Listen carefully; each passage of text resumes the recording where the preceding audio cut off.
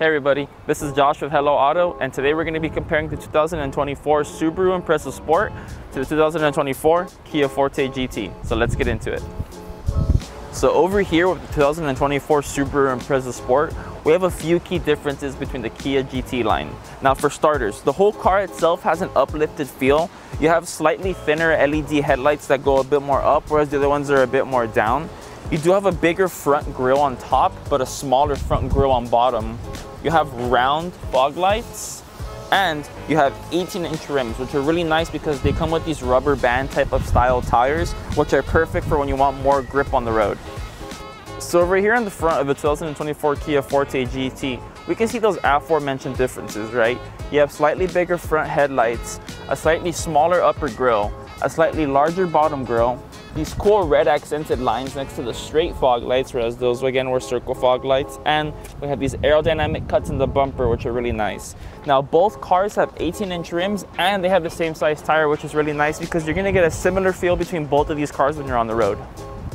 Now, over here in the engine of the 2024 Subaru Impreza Sport, we have a 2 liter 4 cylinder engine with 152 horsepower. Now some people might say, oh, it's a little bit of horsepower, but you have to consider this car is small and very agile. So that 152 horsepower goes a long way. Over here with the 2024 Kia Forte GT, we have a 1.6 liter four cylinder turbocharged engine making a whopping 201 horsepower. Now again, I say whopping because of how small this car is you really feel it when you're trying to accelerate on a highway, on a road, anywhere. It's really cool. It feels very sporty. And again, it's a little bit faster than the Subaru Impreza. Now here in the front of the 2024 Subaru Impreza Sport, we have some cool things going on. For starters, this steering wheel is very rugged. It feels very nice and has a nice grip to it. You have manual paddle shifters when you want to control the feel of your car and the transmission. You have an 11.6 inch touchscreen display, which is really nice. It has Subaru Starlink system, which has Apple and Android Auto. You have a very basic shifter over here, but it's nice because you don't have to have too much going on. Park, reverse, neutral, and drive. That's all you really need to get around. Now the seats are cloth, which again I really like because in the summer it gets really hot and you don't want to burn your skin. And in the winter it gets super cold and you want to freeze yourself. So these cloth uh, seats are very nice. I personally really like them. And overall, the front here of the Subaru Impreza Sport has a bunch of space and I really like it. I'm comfortable, the seats are welcoming, and I have everything I need to get around comfortably. Now over here on the front of the 2024 Kia Forte GT, you have a little bit more going on. For starters, the steering wheel has a matte finish to it with a flat bottom, which is really nice because it gives it a sporty look. And as you look around over here in the front, it has a lot more of a sporty and an upscale look than in the Subaru Impreza Sport. Now furthermore, the steering wheel has a bunch of different buttons so you could choose your music, feel comfortable, have your lane departure on or off, change the mode, anything else that you need. The infotainment display is 10.25 inches and it has Apple CarPlay and Android Auto. We have dual climate, which I cannot reiterate how nice it is to have this in a car because sometimes the passenger loves for it to be cold or warm and the driver feels different about that. Your shifter is a bit more updated than the Subaru Impreza with a leather finish at the bottom and a bit more of an upscale look to it.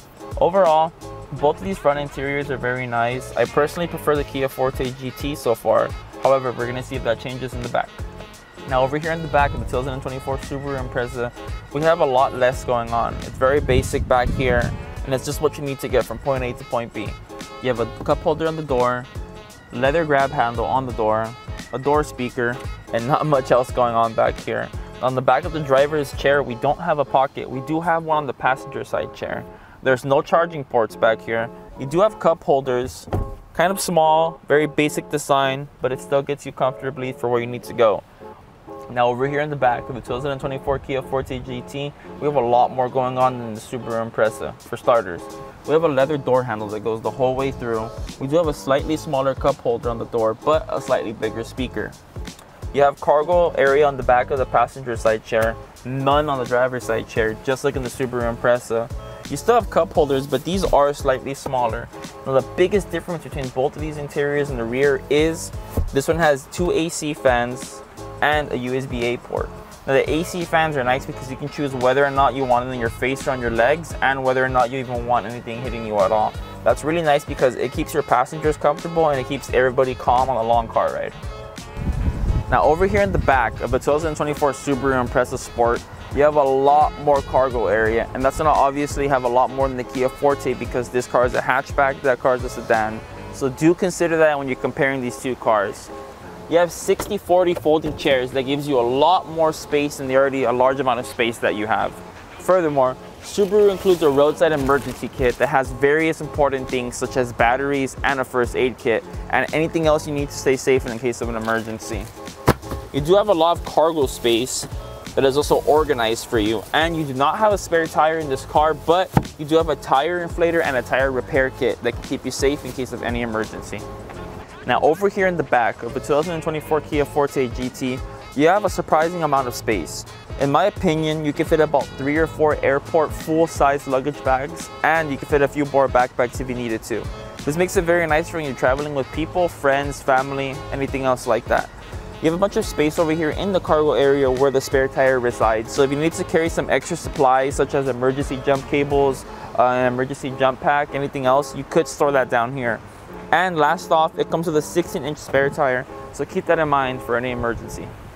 Considering everything we went over today on the 2024 Subaru Impreza Sport and the 2024 Kia Forte GT, which of these two cars is the best suit for you?